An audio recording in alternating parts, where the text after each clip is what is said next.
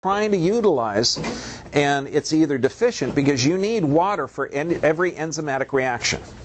You need water for every enzymatic reaction. You need enzymes for every reaction in your cells. So, how many people are hydrated enough? Not many.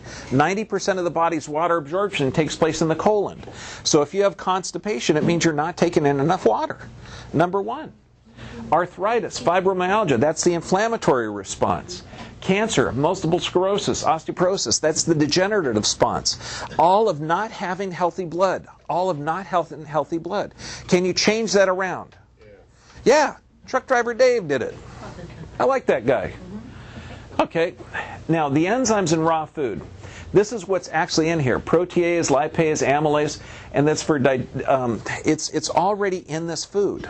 Your body produces it, but if you're able, if you're able to get it from your food, you're not drawing from your body's stores. That means your body is able to utilize that in cell processes. That's why they say cancers are higher in meat eaters. Why? Because you need that prote- protease to break down the meat proteins, and it's not available to break down the tumors inside your system. Now here, um, what happens when you switch to a lifestyle like this? And now, now it tasted good, right? That was kind of like a little teaser. If I was smart, I would have followed up with a friggin' chocolate avocado pudding. I, I mean, I mean, I, I missed that one. Next time I do this talk, I'm going to have a big bucket of chocolate avocado pudding because if you're a chocoholic like me, you're going to love that. But know that all you got to do to be a raw food specialist or a raw foodist, you got to have at least 75 to 100 percent of your diet raw food. If you change two meals to raw, you're 66 percent raw. You change two meals, breakfast, lunch, and then half of your dinner, by gosh, you're there. Okay? So it's not that hard. It's scary, but it's not that hard. Okay, fewer illnesses, reverse disease. And this is how you preserve the enzymes. Now, no microwave cooking. Obviously, that I mean, because not just in plastic or glass, but the microwave process breaks down the enzymes and makes the food not just toxic and useless. It's it's it's a bad way to do it. Heat food to no more than 115 to 118 degrees, which the older you get, the less um, uh, sensitive your senses are. So you prefer hot food. Why? Because when you heat food up, it, it, it you know when a, when a molecule gets moving faster, it gets hotter. So, like you've seen water, when it's not boiling, it's kind of sta- uh, stable. When you start boiling water, molecules move faster and faster and faster. Well, if you heat food up, it excites those molecules and they exude off of the food. So it smells better, it tastes better. Hot food tastes better. So, what you do with, with raw food, add a little bit more spice. Right on, jalapenos. I would, but I had to think of others. I know. I'm sorry. I'll mix them just for you and me. Okay. So you got, and that's what, that's why we want it heated. So if you're going to start going to raw and you want it just a little bit hot, add a little bit more spice. Okay, and it'll still taste really good. Uh, low and slow, and a good way because nobody's going to carry a thermometer and say, "Oh, it's 115 degrees." If you can touch it, it's it's in the ballpark. Okay, if you can't touch it, it's hot. Raw dairy. Some people even go with raw meats. Okay, this one, if you're if you're um, like like if you know anything about raw food, Dave, he was doing three pounds of meat a day. In order to break that addiction, uh, he had to um, do almond butter and a couple of other things. Okay, but but it is an addiction. So if you're going to raw and vegetarian, this is a good first step. Um, soak grains. And this, when you soak grains, it makes them soapy and juicy and delicious. Oh my gosh. And then juicing. This is vital. We do a whole talk on juicing. Um, but again, when you look at this, now I've done this. This is um, antibiotics increase non-Hodgkin's lymphoma. Everybody knows that. I've used this slide before. But the big thing is start looking at these slides in a different aspect. So when you put, here, can you come over here? No, keep bringing the food. Bring the food. Come here. Come here. When you put, right now, she's putting enzyme rich food in her body. I know what this is going to do. If she put an antibiotic in her body, that goes into the bloodstream. Okay, now, now an antibiotic could save her life if she has a specific infection. But if she has a common cold and you give an antibiotic the way they're mostly prescribed, that's not only foolish, it's detrimental to her health. So anything you put in this body is going to make the blood healthier or sicker. Thank you. You did a good job. Good.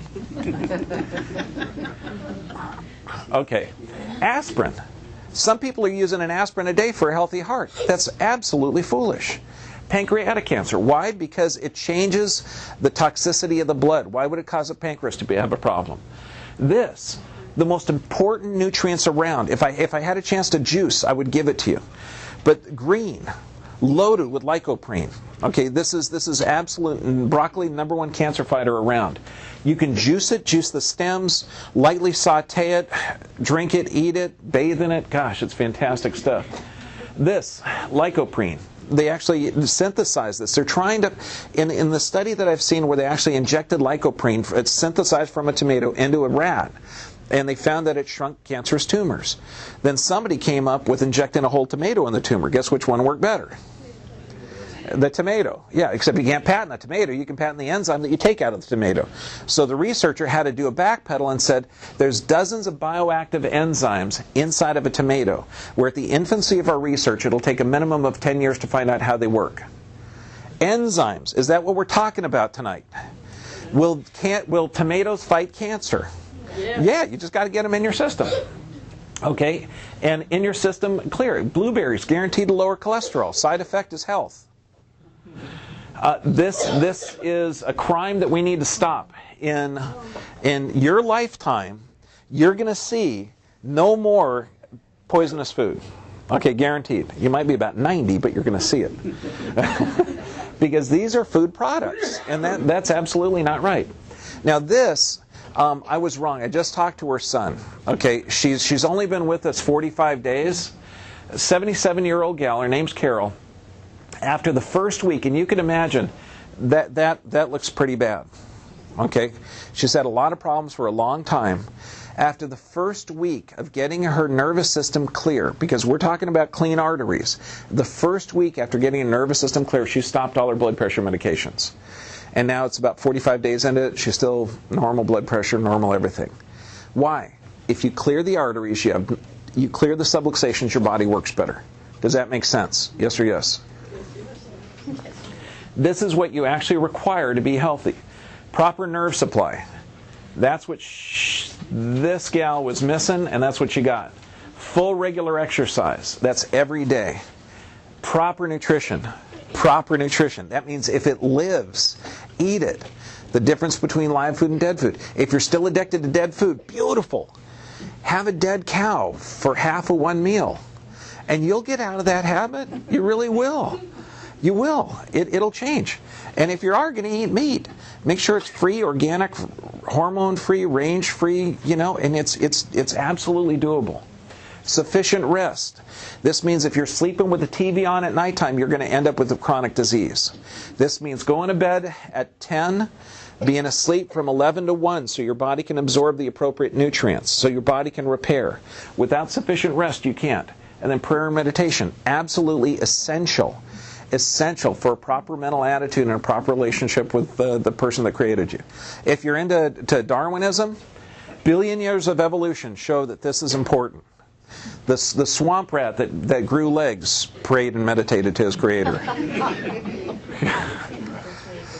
okay, next week. next week, well, one of our patients is going to be doing a vegetarian cooking class, vegan cooking class, sorry. Okay, don't want to upset you. A vegan cooking class. So, to extend on this, you're going to learn how to how to get more healthy enzymes into your system. Okay? Does that make sense?